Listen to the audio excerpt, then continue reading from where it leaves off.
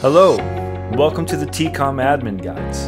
In this video, we'll be covering how to update a user's email, password, and name on the TCOM training site.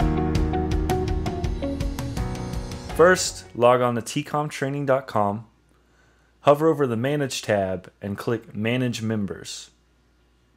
Type the name or email of the member in the search bar and click OK. Wait for the user to populate, then click Edit User. This will pull up several fields you can edit, but for now we're going to focus on changing the email, password, and name. To update a user's email, erase the email that is currently in place and type or paste the new email you wish to change it to. Then click Save. Please note, if the user's email is already in use on another account, the system will give an invalid email error. To update the password, click Edit User Type the password in the new password field, then again in the retype new password field. Be sure that the passwords match or it will not update. Then click Save.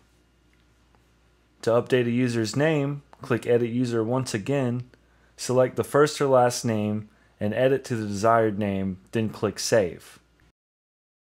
And that's it. As always, if you need further support, please reach out to support at tcomtraining.com. and We'll be happy to assist you. And if you haven't done so already, subscribe to the TCOM channel for more TCOM related content.